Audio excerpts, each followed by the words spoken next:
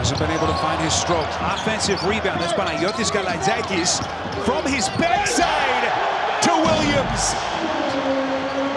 Kalaitzakis with a magic trick. And it's that kind of hustle that has endeared the young man to Radonjic.